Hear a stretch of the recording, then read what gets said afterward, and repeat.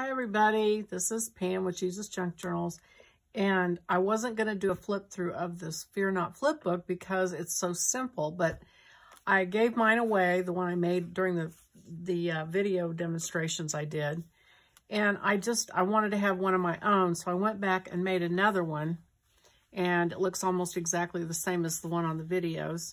But um, I'm going to do a flip through just because when I did it I just thought it's if I do say so myself. I just think it's so cute. And it turned out great, I think. And I just think it would make a great gift for so many people.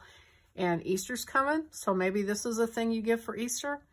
But, um, so this is the cover. I did the cloth cover. And so these are the pages. And I won't go through and read all the scriptures, but you can see I did the tabs and I think they came out super cute. And so these are just, you know, when you get anxiety about the world. Ooh, you know what I did? Ooh, I just found this. Have to come back and put circles on there. When you get anxiety about the world and how things are going, um, you can get this flip book out or whoever you give it to, they can get this flip book out and just quickly go through the scriptures. And of course, there's supernatural power in the Bible scriptures.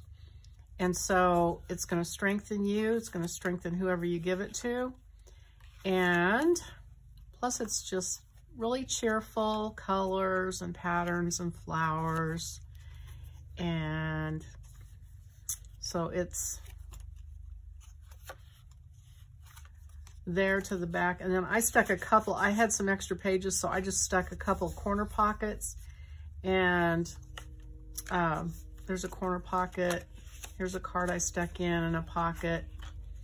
And some more little extra scriptures that I had that I put in. So that is the flip book, the Fear Not flip book. So anyway, short and sweet. I just wanted to uh, go through it and I hope you like it. This came, this comes in the kit. This is to put on your refrigerator or by your coffee pot or what, whatever. And it is the Psalm 46, 1 through 3. And then I also have two Psalm 91s. One's the King James Version and one is the New American Standard Version. And so those are there for you to put somewhere, keep handy, or put in other journals if you want to. So, okay, so that is it. I hope you like my flip book. And I thank you for watching the video and I'll see you on the next one. Bye-bye.